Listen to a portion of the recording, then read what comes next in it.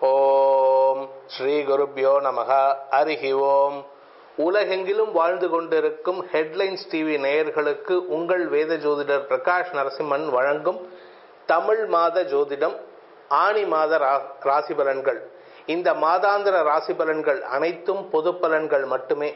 திருக்கணித பஞ்சாங்க முறைப்படி கணிக்கப்பட்டுள்ள இந்த பலன்கள் உங்களுக்கு சாதகமாகவோ பாதகமாகவோ நடந்திட உங்களுடைய ஜனனகால ஜாதகம் மற்றும் தசாபுக்திகள் துணை நிற்க வேண்டும். இந்த மாதத்திற்கு உண்டான கிரக நிலவரம். முதல்ல எதுக்கு கிரக நிலவரத்தை சொல்றீங்க சார்னு நிறைய பேர் ஃபோன் பண்ணி கேட்குறீங்க கிரக நிலவரம் உங்களுக்கு தெரிந்தால் மட்டுமே அந்த காலத்துலலாம் பார்த்தீங்கன்னா ஒவ்வொரு வீட்டிலையும் பஞ்சாங்கம் இருக்கும். அந்த பஞ்சாங்கத்தை பேஸ் பண்ணி தான் ஒவ்வொரு நாளையும் தங்களுடைய நாட்களை பிளான் பண்ணிப்பாங்க. அதற்காக இப்பொழுது அதெல்லாம் ஃபுல்லாக பண்ண முடியாதுங்கிறதுக்காக தான் இந்த கிரக நிலவரத்தை சொல்கிறேன் இந்த மாதத்திற்கு உண்டான கிரக நிலவரம் பார்த்தீங்கன்னா மேஷ ராசியில் அதாவது ஆணி மாதம் ஒன்றாம் தேதி ஜூன் பதினஞ்சாம் தேதி அன்னைக்கு இருக்கிற கிரக நிலவரம் மேஷ ராசியில் சுக்கரன் ராகு இருக்காரு ரிஷப ராசியில் சூரியன் புதன். இந்த சூரியன் புதன் அப்படிங்கிறது வந்து ஜூன் மாதம் பதினஞ்சாம் தேதி அன்னைக்கு சூரியன் விடியற்காலை ரிஷப ராசியிலிருந்து மிதுன ராசிக்கு பெயர்ச்சி ஆகிடுவார். அதுக்கப்புறமா துலாம் ராசியில கேது இருக்காரு சனி கும்ப ராசியில இருக்காரு வக்ர கதியில இருக்காரு. வக்ர கதியில பின்னோக்கி நகர துவங்கிட்டாரு. மீண்டும் மகர ராசியை நோக்கி பயணித்து கொண்டிருக்கிறார். அடுத்ததா பாத்தீங்கன்னா மீன ராசியில குரு செவ்வாய். இந்த இரு கிரகங்களும் மீன ராசியில சஞ்சாரம் பண்ணிட்டு இருக்காங்க. இந்த மாதத்திற்கு உண்டான கிரக பெயர்ச்சிகள் அப்படின்ட்டு பார்த்தேன்னா ஆனி மாசம் நாலாம் தேதி ஜூன் பதினெட்டாம் தேதி. ஜூன் பதினெட்டு ஆனி நாலாம் தேதி சுக்ரன் மேஷ ராசியில் இருக்கிற சுக்ரன் ராகுவோடு சேர்ந்து இருக்கிற சுக்கிரன் ரிஷப ராசிக்குள்ள வராரு. அப்போ மேஷ ராசியில் இருக்கிற வரைக்கும் சனியுடைய பார்வையில் இருக்காரு. ரிஷப ராசிக்கு சொந்த வீட்டுக்கு வந்து ஆட்சி பலத்தோடு அமர போறாரு அடுத்ததா பாத்தீங்கன்னா மேஷ ராசியில மேஷ ராசிக்கு அதிபதியான செவ்வாய் ஜூன் இருபத்தி ஆறாம் தேதி வரைக்கும் மீ- மீன ராசியில் இருக்கிற செவ்வாய் மேஷ ராசிக்குள்ள பிர- பிரவேசிக்கிறார். அதாவது தன்னுடைய சொந்த வீட்டுக்கு வராரு. மேஷ ராசிக்குள்ளார ஜூன் இருபத்தி எட்டு தமிழ் மாதம் ஆனி மாதத்துல பன்னெண்டாம் தேதி. எதுக்கு இது ரெண்டையும் நான் சொல்றேன் அப்படின்னு கேட்டா தமிழ் மாதம் பல பேர்த்துக்கு ஒன்றும் பிராக்டிஸ்ல வரல. சில பேர்த்துக்கு தான் பிராக்டிஸ் பண்ணிட்டு இருக்காங்க அதனால தமிழ் மாதத்தையும் இங்கிலீஷ் மாதத்தையும் கொரலேட் பண்ணி சொல்றேன். ஜூன் இருபத்தி ஆறு தமிழ் மாதத்தில் ஆனி மாதம் பன்னெண்டாம் தேதி அன்னைக்கு செவ்வாய் மீன ராசியிலிருந்து குருமங்கள யோகத்தை கொடுத்து கொண்டிருந்த குருவும் செவ்வாயும் சேர்ந்திருந்த கிரகம் அந்த மீன ராசியிலிருந்து செவ்வாய் மேஷ ராசிக்குள்ள வந்து தன்னுடைய சொந்த வீட்டுக்கு வராரு சுயக்ஷேத்திரத்துக்கு. இங்க வந்து சனியுடைய பார்வையில வராரு.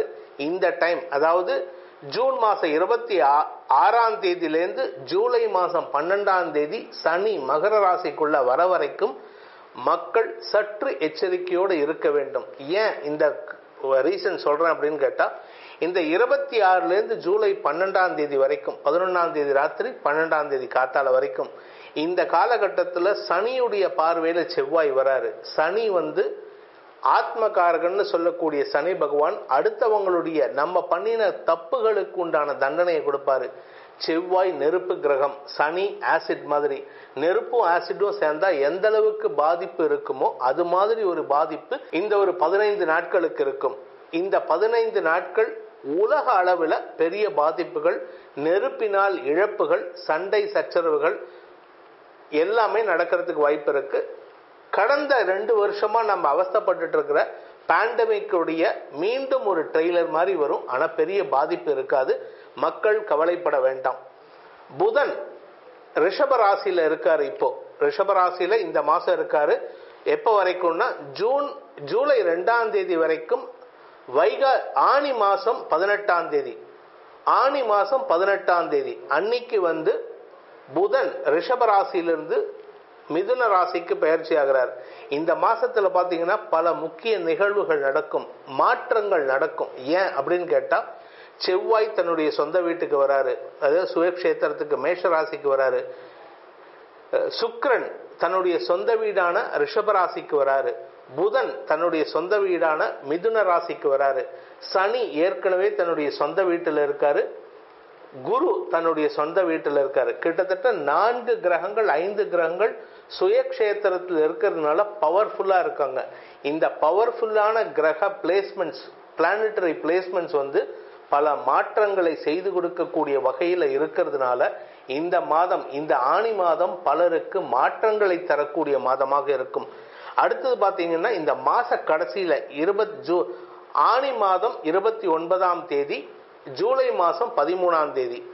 அப்போ சுக்ரன் ரிஷபராசியிலிருந்து மிதுன ராசிக்கு பயிற்சி ஆகிறார் புதன் முப்பத்தி ரெண்டாம் தேதி ஆணி மாதம் முப்பத்தி ரெண்டாம் தேதி ஜூலை மாதம் பதினாறாம் தேதி புதன் மிதுன ராசியிலிருந்து கடக ராசிக்கு பயிற்சி ஆகிறார். அந்த மாசமே அதாவது ஆணி மாசம் முப்பத்தி ரெண்டாம் தேதி ராத்திரி பத்து மணி ஐம்பத்தி நாலு நிமிஷத்துக்கு சூரியனும் மிதுன ராசியிலிருந்து கடக ராசிக்கு பயிற்சியாகி ஆடி மாத பிறப்பு ஏற்படுகின்றது. இதுதான் இந்த மாதத்திற்கு உண்டான கிரக நிலவரம். இதுவே இவ்வளவு பெருசு இருக்கு. இதற்குண்டான பலன்கள் எவ்வளவு சீரியஸா இருக்கும் எவ்வளவு பாதிப்பை தரும் எவ்வளவு நல்ல விஷயங்களை தரும் அப்படிங்கிறத நம்ம பார்க்க போறோம்.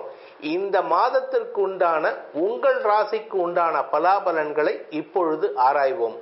சிம்மராசி நண்பர்களுக்கு இந்த மாதம் சில நல்ல மாற்றங்கள் நிகழக்கூடிய வாய்ப்புகள் இருக்கு. சமூகத்தில் மதிப்பும் மரியாதையும் கிடைப்பதற்குண்டான யோகம் ஏற்படும். உங்க சப்தமஸ்தானத்தில் இருக்கிற சனி பகவானும் பின்னாடி பின்னாடி நகர்ந்து பின்னோக்கி நகர்ந்து உங்க ஆறாம் இடத்துக்கு போறாரு. பண வரவு ஏற்படும். சமூகத்தில் அந்தஸ்து கிடைக்கிறதுனால பண வரவு ஏற்படுமா? பண வரவு கிடைக்கிறதுனால சமூக அந்தஸ்து கிடைக்குமாங்கிறது தான் இந்த மாதம் உங்களுக்கு கேள்விக்குறியாகவே இருக்க போகிறது அப்படிப்பட்ட ஒரு சூழ்நிலை உங்களுக்கு சாதகமாக இருக்க போகிறது குரு உங்கள் எட்டாம் இடத்துல இருக்காருன்ட்டு பயப்பட வேண்டாம். குடும்பத்தில் நல்ல விஷயங்களை தரக்கூடிய வகையில் இருக்காரு. குரு செவ்வாய் சேர்க்கை இந்த மாதம் முடிவடைகிறது. செவ்வாய் எட்டாம் இடத்துல வெளியில் வர்றதுனால ஒன்பதாம் இடத்துக்கு போகிறதுனால தந்தையின் ஆரோக்கியம் சம்பந்தப்பட்ட உஷ்ணம் சம்பந்தப்பட்ட பிரச்சனைகள் தலை தூக்கினாலும் பெரிய பாதிப்புகள் ஏற்படாது. ஒரே ஒரு சின்ன சிக்கல் அப்படின்னு கேட்டால் அந்த டைமில் அதாவது எப்போ அப்படின்னு கேட்டால் சனி பார்வையில் செவ்வாய் வரும்பொழுது ஆவணி ஆணி மாதம் பன்னெண்டாம் தேதியிலேருந்து ஆணி மாதம் பன்னெண்டுனா ஜூன் இருபத்தாறு ஜூன் இருபத்தாறுலேருந்து ஜூலை பன்னெண்டு ஆணி மாதம் பன்னெண்டுலேருந்து இருபத்தி எட்டாம் தேதி வரைக்கும் சனி பார்வையில் இருப்பார் செவ்வாய். அந்த பீரியட் மட்டும்தான் உங்களுக்கும் உங்கள் தந்தைக்கும் ஒரு கருத்து வேறு மனஸ்தாபம் கருத்து வேறுபாடு போன்ற சங்கடங்கள் நிகழ்வதற்குண்டான சூழ்நிலைகள் வாக்குவாதங்கள் நடப்பதற்கு வாய்ப்பு இருக்கு. இதனால சில பண விரயங்களும் ஏற்படும் சூழ்நிலை இருக்கு. அதனால கொஞ்சம் கவனமா பார்த்துக்கோங்க. வீட்டில் இருக்கிற எலக்ட்ரானிக்ஸ் பொருட்கள்ல பேர் செலவுகள் ஏற்படுவதற்கு வாய்ப்பு இருக்கு. அதனால உங்களுக்கு செலவுகள் அதிகரிக்குமே தவிர இந்த வாரத்தை பொறுத்த இந்த மாசத்தை பொறுத்த வரைக்கும் உங்களுக்கு பெரிய கடுபலன்கள் கிடையாது. அதே சமயம் பார்த்தீங்கன்னா மாத பிற்பகுதியில் சனி பார்வை விட்டு செவ்வாய் பயிற்சி ஆகிறது உங்களுக்கு நன்மையை தரக்கூடிய வகையில் இருக்கு. உங்களுடைய தசமஸ்தானாதிபதியான சுக்கரன் தசமஸ்தானத்துக்கு வர்றதுனால அஃபிஷியல் சைடில் சில தேவையில்லாத குழப்பங்கள் ஏற்படும். அதுவும் குறிப்பாக பார்த்தீங்கன்னா மூன்றாம் நபர் தலையீடு காரணமாக உங்களுடைய அஃபிஷியல் சைடில் உங்கள் பேருக்கு களங்கம் சுமத்தக்கூடிய வகையில் இருக்கிறதுனால கொஞ்சம் கவனமாக இருந்துக்கோங்க. யாருக்கிட்டையும் யாரையும் நம்பி எந்த ஒரு ரகசியத்தையும் ஷேர் பண்ணிடாதீங்க. அஃபிஷியல் ரகசியங்கள் ரகசியமாகவே இருக்க வேண்டும். ஒருத்தருக்கு தெரிஞ்ச ரகசியம் ரெண்டாவது தெரிஞ்ச ரெண்டாவது ஆளுக்கு தெரிஞ்சாலே அது ரகசியம் இல்லை. அதனால் யாருக்கிட்டையும் அந்த ரகசியத்தை சொல்லிடாதீங்க. உங்கள் அஃபிஷியல் ரகசியத்தை. அதே சமயம் பார்த்தீங்கன்னா இந்த மாதத்தை பொறுத்த வரைக்கும் இந்த ஆணி மாதத்தை பொறுத்த வரைக்கும் சிம்மராசியில் பிறந்தவர்களுக்கு இன்னொரு நல்ல விஷயம் என்ன அப்படின்னா குருவோடு சேர்ந்த செவ்வாய் விலகிறாரு. ஆனால் அந்த செவ்வாய்க்கு சனி பார்வை இருக்கு. அதுக்கப்புறமா குரு குருவுக்கும் செவ்வாயின் குருவுக்கும் சனி பார்வை வருது. குரு சனி பார்வை வர்றதுனால குரு அங்கே வந்து அசுபர பலன்களை தரக்கூடிய வகையில் இருக்காரு. அதனால உங்களுக்கு சில நல்ல விஷயங்கள் நடக்கிறதுல தடை ஏற்படும். என்ன மாதிரி நல்ல விஷயங்கள் அப்படின்னு கேட்டால் உங்களுக்கு குழந்தை பாக்கியம் ஏற்படுவதில் தடை ஏற்படும். ஆரம்பத்தில் சார் சொன்னீங்களே நல்ல விஷயம் நடக்கும் அப்படின்ட்டு. அது என்ன நல்ல விஷயம்னா உங்களுக்கு உடம்புல ரோகம் வந்ததுன்னா அதாவது கட்டி போன்ற விஷயங்கள் வந்ததுன்னா அதாவது இந்த ராசியில பிறந்த பெண்களுக்கு கட்டி போன்ற விஷயங்கள் வந்ததுன்னா இந்த சனி பார்வையில குரு வர்றதுனால பிளெஸிங் இன் டிஸ்கைஸ்னு சொல்லுவாங்க. மறைமுக ஆசீர்வாதம். என்ன அப்படின்னா உங்களுக்கு ஆரோக்கியத்தில் சின்ன சங்கடம் வரும்.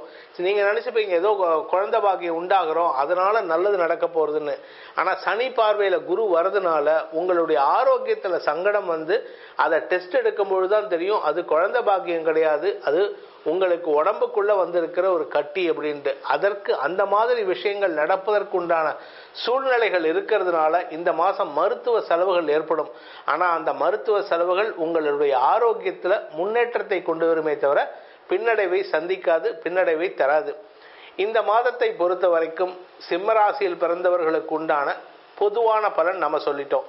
இண்டிவிஜுவல் கேரக்டரி கேட்டகரி குடும்ப தலைவிகள் இந்த ராசியில் பிறந்த சிம்மராசியில் பிறந்த குடும்ப தலைவிகளுக்கு ஆரோக்கிய குறைபாடுகளினால் இருந்து வந்த சங்கடங்கள் விலகும். ஆரோக்கியத்திற்காக செலவுகள் ஏற்பட்டு அந்த சங்கடங்கள் விலகுவதற்குண்டான வாய்ப்புகள் ஏற்படும். உங்களுக்கு ஏதாவது தலைவலி தலைவலி இருந்தாலோ சைனஸ் ப்ராப்ளம் இருந்ததுன்னா அதெல்லாம் இந்த வாரத்தில் இந்த மாதத்தில் சரியாக போயிடும். இந்த மாதத்தை பொறுத்த வரைக்கும் குடும்ப தலைவிகளுக்கு குழந்தை பாக்கியத்தினால் ஏற்படக்கூடிய மனச்சங்கடங்கள் விலகுவதற்குண்டான வாய்ப்புகள். உடனே குழந்தை பாக்கியம் கிடைக்குமான்னு கேட்டால் முதல்ல உடம்ப ஆரோக்கியமா பார்த்துக்கோங்க. அதுக்கப்புறமா குழந்தை பாக்கியத்துக்கு ட்ரை பண்ணலாம். இந்த சிம்மராசியில பிறந்த குழந்தைகள் படிக்கும் குழந்தைகளை பொறுத்த வரைக்கும் அமோகமான வளர்ச்சி ஏற்படுகின்றது. மேல் படிப்புக்கு உண்டான செலவுகள் ஏற்படுகின்ற மாதமாக இருக்கு. அதனால படிப்புக்கு நீங்க முக்கியத்துவம் கொடுக்க வேண்டிய மாதம் இது. உங்கள் ஆரோக்கியத்திலும் நல்ல முன்னேற்றம் ஏற்படும். மனசுல தைரியமும் வெற்றி செய்திகளும் வருவதற்குண்டான சூழ்நிலைகள் உள்ள மாதமாக இருக்கு.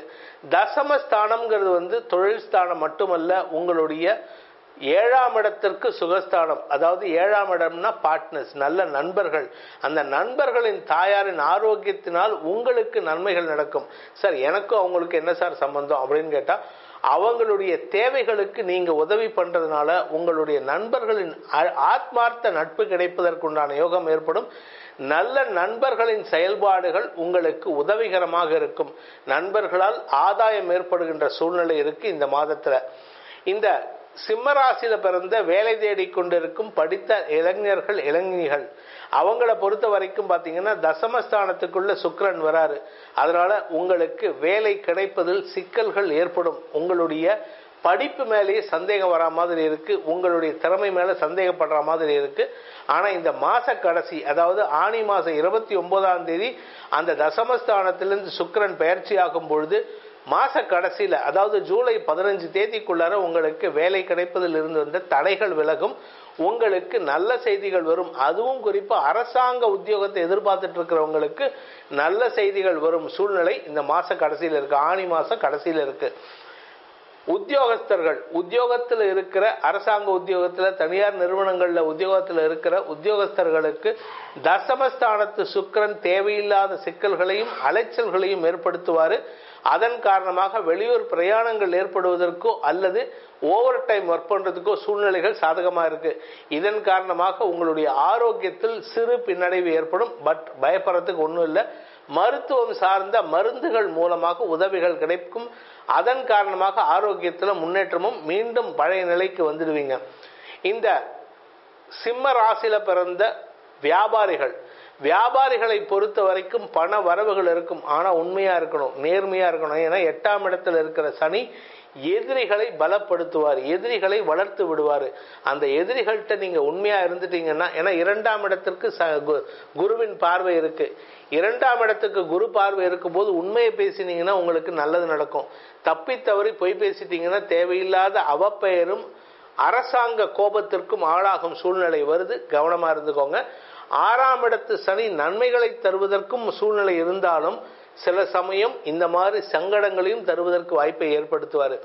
மொத்தத்தில் இந்த மாதம் பொறுத்த வரைக்கும் சிம்மராசி நண்பர்களுக்கு ஆணி மாதம் வளர்ச்சியை தரும் மாதமாக இருக்கும். சமூகத்தில் மதிப்பு கூடுவது பண வரவு ஏற்படுவது மூத்த சகோதரர்களின் ஒத்துழைப்பு கிடைப்பது தந்தையின் அனுகூலமான போக்கில் சிறு மாறுதல் ஏற்படுவது போன்ற நல்ல விஷயங்களும் சங்கடமான விஷயங்களும் இணைந்தே நடக்கும் மாதமாக இருக்குது பேச்சை தொழிலாக கொண்ட வழக்கறிஞர்களுக்கு வாக்கு சாதுரியம் மூலமாக தன லாபம் ஏற்படுகின்ற சூழ்நிலை குடும்பஸ்தானம் வலுப்பெறுகின்றது. அதனால குடும்பத்தில் நல்ல விஷயங்கள் நடக்கும். அதே சமயம் இந்த ராசியில பிறந்த அரசியல் துறை சார்ந்தவர்களுக்கும் வாக்கு வன்மை அதிகரித்து பதவி உயர்வு கிடைப்பதற்குண்டான யோகம் ஏற்படும். கலைத்துறை நண்பர்கள் கலைத்துறை நண்பர்களுக்கு அவப்பெயரும் அவமானமும் தேடுகின்ற மாதமாக இருக்கிறதுனால எதிர்பாலின நண்பர்கள் விலகி இருப்பது நல்லது அவர்களை விலக்கி வைப்பது நல்லது. விவசாயம் சார்ந்த பூமி தொடர்பான தொழில் செய்பவர்கள் இந்த சிம்மராசியில பிறந்தவங்களுக்கு நான்காம் இடத்திற்கு செவ்வாயின் பூமிகாரகனின் பார்வை இருக்கிறதுனால அதாவது நான்காம் இடத்து அதிபதியான செவ்வாய் மூன்றாம் இடத்தை பார்க்கிறாரு. மூன்றாம் இடம்ங்கிறது வந்து நாலாம் இடத்துக்கு விரயஸ்தானம். ஸோ பூமி தொடர்பான முதலீடுகள் செய்யும் வாய்ப்புகள் ஏற்படும். பூமி தொடர்பான முதலீடுகள் செய்ய வேண்டிய மாதம் இது. இந்த மாதத்துல நீங்க எதுவும் லாபம் எதிர்நோக்க முடியாது. ஆனா பூமிக்கு கீழே அதாவது நிலத்துக்குள்ளார விளையக்கூடிய பயிர்கள் மூலமாக உங்களுக்கு லாபம் ஏற்படும். நிலத்துக்கு மேல விளையக்கூடிய பயிர்கள் உங்களுக்கு இந்த மாதம் பெரிய லாபத்தை கொண்டு வந்து சேர்க்காது. இந்த மாதத்தை பொறுத்த வரைக்கும் இந்த சிம்மராசியில் பிறந்தவர்களுக்கு உண்டான ஆரோக்கியம் மா ஆரோக்கிய பரிகாரம் என்ன அப்படின்னு பார்த்தீங்கன்னா ஆரோக்கியம் சம்பந்தப்பட்ட விஷயங்கள்ல உங்க ராசிக்கு ஆறாம் இடத்துக்கு ருண ரோகஸ்தானத்துக்கு சனி பயிற்சி ஆகிறார் மாத பிற்பகுதியில். அதாவது ஆணி மாதம் இருபத்தி எட்டாம் தேதி ஜூலை மாதம் பன்னெண்டாம் தேதி. அது வரைக்கும் உங்களுக்கு கூட இருக்கிறவங்களால கெட்ட பெயர் ஏற்படும். அவர்களின் ஆரோக்கியத்திற்காக நீங்க கஷ்டப்படணும். ஆனா அதுக்கப்புறம் உங்க ஆரோக்கியத்தில் ஒரு சின்ன சங்கடம் ஏற்பட்டு மருத்துவ உதவி மூலமாக சரியாவதற்குண்டான வாய்ப்பு ஏற்படும். வலது பக்க தலையில வலி இருந்ததுன்னா உடனே மருத்துவரை பார்த்துடுங்க. இது எந்த நாளாக இருந்தாலும் சரி. காரணம் என்ன அப்படின்னு கேட்டால் சனியின் பார்வை மாத முற்பகுதியில் உங்கள் தலைக்கு இருக்கு. மாத பிற்பகுதியில் வலது பக்க தலைக்கு வருது. அதனால வலது பக்கத்தில் பிரச்சனைகள் தலை தூக்குவதற்கு வாய்ப்பு இருக்கு. வலது கண் வலது கண்ணம் வலது தலை. இந்த மூணு இடத்துலையும் சிக்கல் வருவதற்கு வாய்ப்பு இருக்கு. மற்றபடி ஆரோக்கியத்தில் பெரிய பாதிப்புகள் இருக்காது. மருத்துவ செலவுகள் குறைவாக இருக்கும். சிலருக்கு பல்லு பிடுங்குற மாதிரி வந்ததுன்னா தாராளமாக பண்ணிக்கோங்க. பல்லுக்கு ட்ரீட்மெண்ட் எடுக்கிறது நல்லது. இந்த அதாவது வலது பக்க பல்லு சம்பந்தப்பட்ட விஷயத்தில். இந்த மாதத்தை பொறுத்த வரைக்கும் இந்த சிம்மராசி நண்பர்களுக்கு உண்டான பரிகாரம் அப்படின்ட்டு பார்த்தேன்னா ஆஞ்சநேயர் வழிபாடு செய்வது சிறப்பு. கூடவே உங்கள் ஊரில் ஆஞ்சநேயர் ரூபத்தில் இருக்கிற குரங்குகள் இருந்ததுன்னா அந்த குரங்குகளுக்கு உங்கள் கைகளால் வாழைப்பழங்களை வாங்கி கொடுங்கள். குரங்குகளுக்கு வாழைப்பழம் கொடுக்க உங்களுடைய ஆரோக்கியத்தில் முன்னேற்றம் ஏற்படும். அதே சமயம் பார்த்தீங்கன்னா மற்ற விஷயங்கள் தொழில் சார்ந்த விஷயங்களுக்காக விஷ்ணு சகசிரநாம பாராயணம் செய்வது சிறப்பு. தினமும் காலையோ மாலையோ விஷ்ணு சகசிரநாம பாராயணம் பண்ணுங்க.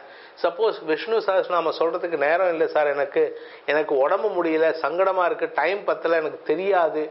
இப்படி எதையாவது சொன்னீங்கன்னா அதுக்கும் சிம்பிளான வழி இருக்கு. இப்ப நான் சொல்லக்கூடிய ஒரே ஒரு லைன் அதை சொல்லிட்டு வாங்க. உங்களுக்கு தொழில் விருத்தி அடையும் தொழிலினால் ஏற்படக்கூடிய சங்கடங்கள் வராமல் தடுக்கப்படும். இது தொழில் மட்டும் இல்லை உத்தியோகத்தில் இருக்கிறவங்களுக்கும். விஸ்தார ஸ்தாவர ஸ்தானு பிரமாணம் பீஜமவ்யம் விஸ்தார ஸ்தாவர ஸ்தானு பிரமாணம் பீஜமவ்யம் இந்த லைனை மட்டும் நீங்க தினமும் பன்னெண்டு தடவை சொல்லிட்டு வாங்க. உங்க தொழில் உத்தியோகம் வியாபாரம் வளர்ச்சி அடையும் என்பதை அந்த பரந்தாமனின் சார்பில் உங்களிடம் விட்டு விடுகிறேன். அந்த பரந்தாமனுக்கே சாஸ்வதமாக விட்டு விடுகிறோம். அவர் மூலமாக உங்களுக்கு நன்மைகள் ஏற்படும். அந்த பரந்தாமன் உங்களை தன்னுடைய இரு கரங்களால் காப்பாற்றுவார் என்பதை சொல்லி அவரின் பாதார விந்தங்களில் அடியேனின் பிரார்த்தனையை சமர்ப்பித்து உங்கள் அனைவருக்கும் நல்வாழ்த்துக்களை தெரிவித்துக் கொண்டு உங்களிடமிருந்து விடைபெறுவது உங்கள் வேத ஜோதிடர் பிரகாஷ் நரசிம்மனின் அன்பு வணக்கங்களுடன். நன்றி வணக்கம்.